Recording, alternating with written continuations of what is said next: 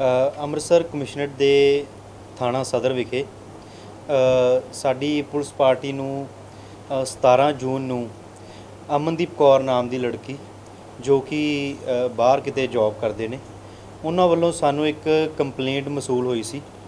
ਇਸ ਕੰਪਲੇਂਟ ਵਿੱਚ ਉਹਨਾਂ ਨੇ ਦੱਸਿਆ ਸੀ ਕਿ ਜਦੋਂ ਉਹ ਆਪਣੇ ਆਫਿਸ ਤੋਂ ਆਟੋ ਤੋਂ ਘਰ ਨੂੰ ਪਹੁੰ- ਗਈ ਤਾਂ ਘਰ ਦੇ ਨਜ਼ਦੀਕ ਆ ਕੇ ਜਦੋਂ ਉਹ ਆਟੋ ਤੋਂ ਉਤਰੀ ਤੇ ਬਾਬਾ ਦੀਪ ਸਿੰਘ ਕਲੋਨੀ ਵਾਲੀ ਗਲੀ ਵਿੱਚ ਉਹ ਪੈਦਲ ਜਾ ਰਹੀ ਸੀ ਤੇ ਜਦੋਂ ਉਹ ਪੈਦਲ ਜਾ ਰਹੀ ਸੀ ਤਾਂ ਉਹ ਆਪਣੇ ਫੋਨ ਤੇ ਕਿਸੇ ਨਾਲ ਗੱਲ ਕਰ ਰਹੀ ਸੀ। ਤਾਂ ਇਸੇ ਦੌਰਾਨ ਇੱਕ ਅਣਪਛਾਤਾ ਨੌਜਵਾਨ ਉਹਨਾਂ ਦਾ ਪਿੱਛਾ ਕਰਦਾ ਹੁੰਦਾ ਵਾ। ਉਹ ਕਾਫੀ ਭੱਜਿਆ ਇਹਨਾਂ ਵੱਲ ਆ ਰਿਹਾ ਸੀਗਾ। ਉਸਨੇ ਆ ਕੇ ਇਹਨਾਂ ਦੇ ਹੱਥ 'ਚੋਂ ਫੋਨ ਖੋਇਆ ਤੇ ਤੁਰੰਤ ਵਾਪਸ ਹੀ ਭੱਜ ਗਿਆ ਉਹ। ਇਸ ਤੋਂ ਬਾਅਦ ਲੜਕੀ ਨੇ ਕਾਫੀ ਕੋਸ਼ਿਸ਼ ਕੀਤੀ ਉਹਦਾ ਪਿੱਛਾ ਕਰਨ ਦੀ, ਉਹਦੇ ਪਿੱਛੇ ਭੱਜੀ। ਬਟ ਕੁਝ 10 ਮੀਟਰ 20 ਮੀਟਰ ਅੱਗੇ ਜਾ ਕੇ ਇੱਕ ਮੋਟਰਸਾਈਕਲ ਸਵਾਰ ਨੌਜਵਾਨ ਖੜਾ ਸੀ। ਲੜਕੀ ਨੇ ਉਸ ਮੋਟਰਸਾਈਕਲ ਨੌਜਵਾਨ ਨੂੰ ਆਵਾਜ਼ ਮਾਰੀ ਕਿ ਮੇਰੀ ਹੈਲਪ ਕਰੇ, ਮੇਰਾ ਮੋਬਾਈਲ ਖੋ ਕੇ ਭੱਜਿਆ। ਬਟ ਅਸਲ ਦੇ ਵਿੱਚ ਉਹ ਦੋਨੋਂ ਨੌਜਵਾਨ ਇਕੱਠੇ ਮਿਲੇ ਹੋਏ ਸਨ ਤੇ ਉਹ ਨੌਜਵਾਨ ਤੁਰੰਤ ਉਹਦੇ ਮੋਟਰਸਾਈਕਲ ਦੇ ਪਿੱਛੇ ਬਹਿੰਦਾ ਤੇ ਉੱਥੋਂ ਫਰਾਰ ਹੋ ਜਾਂਦੇ ਨੇ।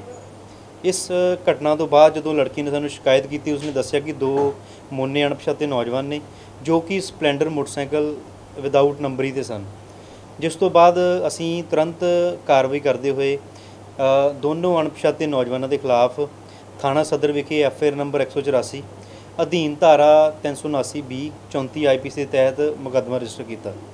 ਜਦੋਂ ਅਸੀਂ ਇਸ ਮੁਕੱਦਮੇ ਦੀ ਤਫਤੀਸ਼ ਵਿੱਢੀ ਤਾਂ ਸਾਨੂੰ 48 ਘੰਟੇ ਦੇ ਵਿੱਚ ਵਿੱਚ ਜੋ ਇਹਦੇ ਵਿੱਚ ਨੌਜਵਾਨ ਸਨ, ਜਿਨ੍ਹਾਂ ਵੱਲੋਂ ਇਸ ਵਾਰਦਾਤ ਨੂੰ ਅੰਜਾਮ ਦਿੱਤਾ ਗਿਆ ਸੀ ਜਿਨ ਵਿੱਚ ਪਹਿਲਾ ਨੌਜਵਾਨ ਗੁਰਜੰਟ ਸਿੰਘ, ਪੁੱਤਰ ਜਗੀਰ ਸਿੰਘ, ਦੂਸਰਾ ਫਤਿਹ ਆਲਮ, ਪੁੱਤਰ ਅਲੀ ਮੁਹੰਮਦ ਤੇ ਤੀਸਰਾ ਇੱਕ ਨੌਜਵਾਨ ਜੋ ਇਹਨਾਂ ਦਾ, ਇਹਨਾਂ ਨਾਲ ਪਿੱਛੇ 120 ਵੀ ਕਨਸਪੀਰੇਸੀ ਦੇ ਤਹਿਤ ਇਹਨਾਂ ਨੂੰ ਅਸਿਸਟ ਕਰ ਰਿਹਾ ਸੀ, ਜਿਸ ਦਾ ਨਾਮ ਅਰਸ਼ਦੀਪ ਸਿੰਘ, ਪੁੱਤਰ ਲਾਲ ਸਿੰਘ। ਸੋ ਇਹ ਤਿੰਨੇ ਜੋ ਨੌਜਵਾਨ ਨੇ, ਇਹ ਨੰਗਲੀ ਦੇ ਰਹਿਣ ਵਾਲੇ ਨੇ। ਇਹਨਾਂ ਤਿੰਨਾਂ ਨੌਜਵਾਨਾਂ ਚੋਂ ਦੋ ਨੌਜਵਾਨ ਮੋਟਰਸਾਈਕਲ ਤੇ ਆਏ ਤੇ ਇੱਕ ਤੀਸਰਾ ਪਿੱਛੇ ਜਿਹੜਾ ਪਲੈਨਿੰਗ ਦੇ ਵਿੱਚ ਸੀਗਾ। ਸੋ ਇਹਨਾਂ ਤਿੰਨਾਂ ਨੌਜਵਾਨਾਂ ਨੂੰ ਅਸੀਂ ਅਰੈਸਟ ਕਰਕੇ ਜੋ ਵਾਰਦਾਤ ਵਿੱਚ ਵਰਤਿਆ ਗਿਆ ਸਪਲੈਂਡਰ ਮੋਟਰਸਾਈਕਲ, ਉਹ ਅਸੀਂ ਰਿਕਵਰ ਕੀਤਾ। ਵਾ ਇਸ ਤੋਂ ਇਲਾਵਾ ਇਹਨਾਂ ਤੋਂ ਅਸੀਂ ਇਹ ਕਿਉਂਕਿ ਲੁੱਟਾਂ ਖੋਹਾਂ ਹੋਰ ਵੀ ਕਰਦੇ ਰਹੇ ਨੇ। ਸੋ ਇਹਨਾਂ ਕੋਲੋਂ ਸਾਨੂੰ ਹੋਰ ਵੀ ਦੋ ਮੋਬਾਈਲ ਜੋ ਇਹਨਾਂ ਨੇ ਅਲੱਗ-ਅਲੱਗ ਜਗ੍ਹਾ ਤੇ ਖੋਹ ਕੀਤੀ ਸੀ ਉਹ ਵੀ ਇਹਨਾਂ ਕੋਲੋਂ ਬਰਾਮਦ ਕੀਤੇ ਨੇ। ਸਰ ਜਿਹੜਾ ਮੁਸਲਮਾਨ ਲੜਕਾ ਇਹਦਾ ਪਿਛਲਾ ਰਿਕਾਰਡ ਕੀ ਹੈ ਜੀ? ਕਿਹੜਾ ਏਰੀਆ ਦਾ? ਜੋ ਇਹ ਤਿੰਨੇ ਨੌਜਵਾਨ ਅਸੀਂ ਅਰੈਸਟ ਕੀਤੇ ਨੇ ਜੀ ਤਿੰਨੇ ਨੰਗਲੀ ਦੇ ਰਹਿਣ ਵਾਲੇ ਨੇ। ਬਾਕੀ ਇਹਨਾਂ ਦਾ ਕ੍ਰਿਮੀਨਲ ਰਿਕਾਰਡ ਅਸੀਂ ਚੈੱਕ ਕਰ ਰਹੇ ਹਾਂ। ਇਹਨਾਂ ਦਾ ਰਿਮਾਂਡ ਲੈ ਕੇ ਅਸੀਂ ਹੁਣ ਸਾਰਿਆਂ ਦੇ ਜੋ ਰਿਹਾਇਸ਼ੀ ਥਾਣੇ ਨੇ ਉੱਥੋਂ ਇਹਨਾਂ ਦਾ ਰਿਕਾਰਡ ਦਾ ਪਤਾ ਕਰਾਂਗੇ। ਬਾਕੀ ਇਹਨਾਂ ਦੇ ਖਿਲਾਫ ਜੇ ਹੋਰ ਕ੍ਰਿਮੀਨਲ ਇੰਟੀਸੀਡੈਂਟਸ ਹੋਣਗੇ ਉਸ ਦੇ ਤਹਿਤ ਹੋਰ ਵੀ ਕਾਰਵਾਈ ਕੀਤੀ ਜਾਊਗੀ। ਤੇ ਸਾਨੂੰ ਉਮੀਦ ਆ ਕਿ ਇਹਨਾਂ ਨੇ ਹੋਰ ਵੀ ਕਈ ਵਾਰਦਾਤਾਂ ਦੇ ਵਿੱਚ ਯੋਗਦਾਨ ਪਾਇਆ ਹੋਊਗਾ। ਸੋ ਅਸੀਂ ਡਿਟੇਲ ਦੇ ਵਿੱਚ ਇਹਨਾਂ ਤੋਂ ਪੁੱਛਗਿੱਛ ਕਰਾਂਗੇ ਤੇ ਸਾਨੂੰ ਹੋਰ ਵੀ ਰਿਕਵਰੀ ਹੋਣ ਦੀ ਪੂਰੀ ਆਸ ਹੈ ਪਹਿਲਾਂ ਵੀ ਕੋਈ ਪਰਚਾ ਹੈ ਇਹੀ ਅਸੀਂ ਚੀਜ਼ ਇਹਦੀ ਇਹਦਾ ਬੈਕਗ੍ਰਾਉਂਡ ਚੈੱਕ ਕਰ ਰਹੇ ਹਾਂ ਜੀ ਤਿੰਨਾਂ ਦਾ।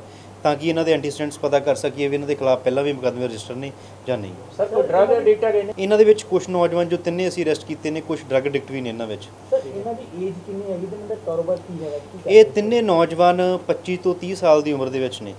ਤੇ ਇਹ ਸਾਰੇ ਜਿਵੇਂ ਆਪਣੇ ਦਿਹਾੜੀ ਦੱਪੇ ਵਾਲੇ ਪਰਿਵਾਰ ਹੁੰਦੇ ਨੇ ਉਸ ਤਰੀਕੇ ਨਾਲ ਸੰਬੰਧ ਰੱਖਦੇ ਨੇ।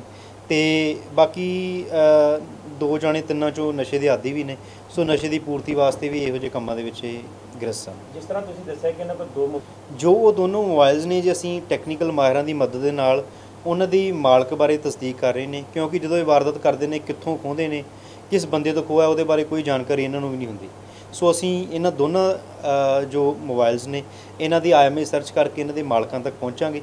ਫਿਰ ਇਹਨਾਂ ਦੇ ਮਾਲਕਾਂ ਤੋਂ ਤਸਦੀਕ ਅਸੀਂ ਕਰ ਸਕਾਂਗੇ ਕਿ ਇਹ ਮੋਬਾਈਲ ਉਹਨਾਂ ਤੋਂ ਕਿਸ ਜਗ੍ਹਾ ਤੇ ਖੋਏ ਨੇ ਤੇ ਕੀ ਇਸ ਦੇ ਮਤ- ਮਤਲਬ ਉਹਨਾਂ ਨੇ ਕਿਸੇ ਥਾਣੇ ਦੇ ਵਿੱਚ ਸ਼ਿਕਾਇਤ ਕਰਕੇ ਐਫ ਰਜਿਸਟਰ ਕੀਤੀ ਹੈ ਜਾਂ ਨਹੀਂ। ਸਰ ਕਿਹੜੇ ਕਿਹੜੇ ਏਰੀਆ ਦੇ ਵਿੱਚ ਇਹ ਮੇਨਲੀ ਜੀ ਸਾਡੇ ਇੱਥੇ ਸਦਰ ਦਾ ਏਰੀਆ ਅੰਮ੍ਰਿਤਸਰ ਦਿਹਾਤੀ ਦਾ ਜਿਹੜਾ ਏਰੀਆ ਨਾਲ ਲੱਗਦਾ ਵਾ ਇਸ ਜਗ੍ਹਾ ਦੇ ਵਿੱਚ ਬਾਈਪਾਸ ਦੇ ਉੱਪਰ ਜ਼ਿਆਦਾ ਇਹ ਐਕਟਿਵ ਸਨ। ਸੋ ਖਾਸ ਤੌਰ ਤੇ ਇਹ ਇਹਨਾਂ ਏਰੀਆ ਦੇ ਵਿੱਚ ਜ਼ਿਆਦਾ ਵਾਰਦਾਤ ਕਰਦੇ ਸਨ। ਸਰ ਚੱਪੇ ਚੱਪੇ ਦੇ ਕੋਲ ਸਿਰ ਚੁੱਕਦੇ ਆ ਕਾਰਨ?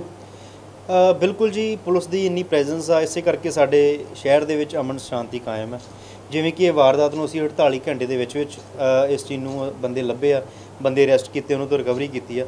ਸੋ ਫਿਰ ਵੀ ਪੁਲਿਸ ਜਿੰਨੀ ਫੋਰਸ ਆ ਉਹ ਹਰ ਜਗ੍ਹਾ ਤੇ ਤੈਨਾਤ ਤਾਂ ਨਹੀਂ ਹੋ ਸਕਦੀ ਹਰ ਜਗ੍ਹਾ ਤੇ 24/7 ਨਹੀਂ ਰਹਿ ਸਕਦੀ।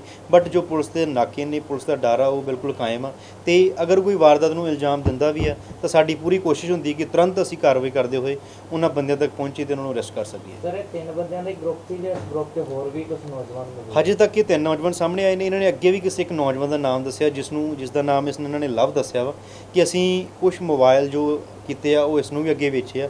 ਸੋ ਅਸੀਂ ਇਸ ਨੌਜਵਾਨ ਨੂੰ ਚੌਥੇ ਨੂੰ ਵੀ ਮੁਕੱਦਮੇ ਦੇ ਵਿੱਚ ਨਾਮਜ਼ਦ ਕਰ ਲਿਆ ਵਾ ਤੇ ਇਸ ਦੀ ਭਾਲ ਜਾਰੀ ਆ, ਰੇਡਸ ਕੀਤੀਆਂ ਜਾ ਰਹੀਆਂ ਨੇ ਤੇ ਇਸ ਨੂੰ ਅਰੈਸਟ ਕਰਨ ਤੋਂ ਬਾਅਦ ਵੀ ਸਾਨੂੰ ਲੱਗਦਾ ਕਿ ਹੋਰ ਵੀ ਇਹਨਾਂ ਤੋਂ ਰਿਕਵਰੀ ਹੋ ਸਕਦੀ ਹੈ।